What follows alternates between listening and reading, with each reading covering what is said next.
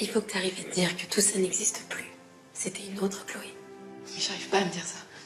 En plus, euh, t'imagines si Fabrice, enfin le docteur Dumont l'apprenait Ouais. Écoute, euh, tu te souviens, moi, quand je suis arrivée, j'étais avec deux musiciens, Sean et Antoine. Ouais, je me souviens bien. Surtout d'Antoine. Et moi, je sortais avec les deux.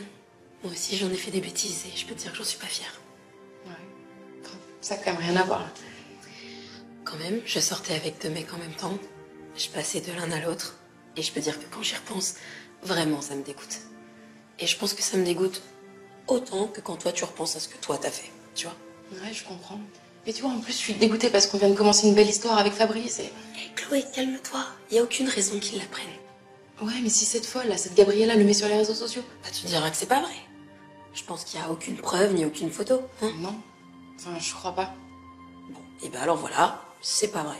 Et puis au pire, tu pourras toujours dire que elle est euh, extrêmement jalouse d'Hélène et c'était pour se venger d'elle. Donc tu crois que ça marchera? Mais oui, ça marchera. Je sais pas. Je sais même pas si je vais réussir à le regarder en face, Fabrice. Mais pourquoi? Puisqu'il ne le saura jamais. Je sais pas, je... Je, je peux pas t'expliquer, mais je culpabilise vis-à-vis de lui. Mais enfin, Chloé, s'il te plaît, arrête de culpabiliser. Je, je veux dire, vous vous connaissiez même pas. Tu savais même pas qu'il existait. Oui, mais lui, il existait, moi, j'existais, je sais pas... Oui, mais ça c'était avant que tu le rencontres. Ouais, je comprends. Bon, Merci, t'as un petit peu réussi à me remonter le moral. J'espère.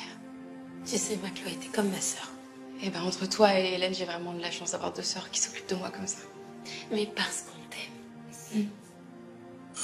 Ah, bah ça doit être le lieutenant Guéant qui nous annonce qu'il démarre son service. Mais t'es toujours sous protection policière? Ouais. Bon, allez, on va y aller parce que sinon Christian va se demander ce qu'on fait. Ok.